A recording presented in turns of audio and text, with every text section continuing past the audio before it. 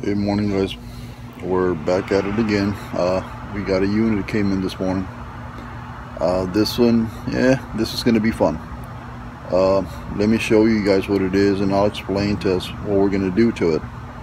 Alright, let me go ahead and flip this around real quick and that way you guys can see what I'm looking at. Well guys, like I said, this is going to be fun. As you can all see, yeah, that's oil. And no, it's not coming out of the AC compressor, dude. basically, this engine. Oh, let me show you guys real quick. As you can see, it's all over our tensioner, water pump, pulleys, crankshaft pulley, harmonic balancer, so on and so forth. I mean, grit is everywhere. And timing cover in the back seems to be plain, so we kind of checked it out found out that the front timing cover is cracked so we're gonna go ahead and start breaking this one up.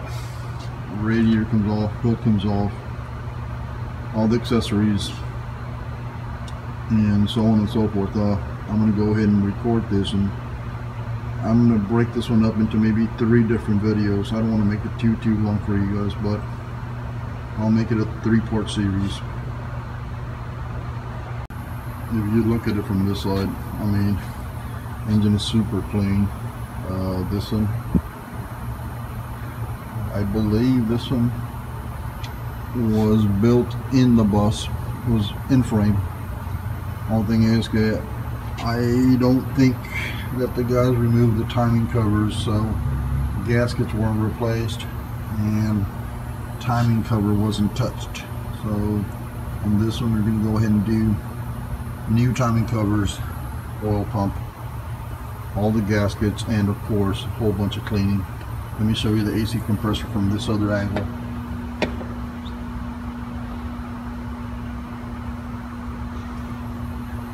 Alright, so we have our workout pit uppers.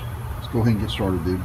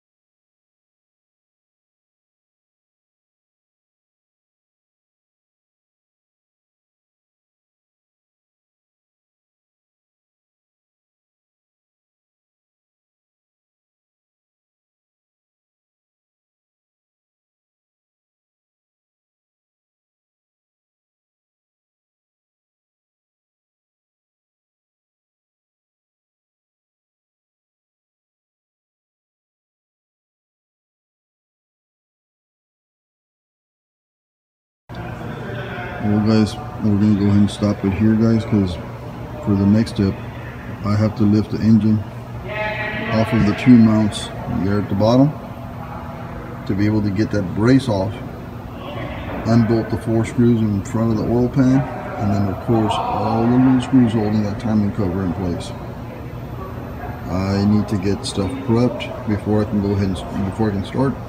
And right now, other units are coming in with minor problems. I gotta address those before I can actually continue with this one. I guess I'll go ahead and terminate the video here, call this part one, and I'll go ahead and start on it hopefully tomorrow. Thank you guys.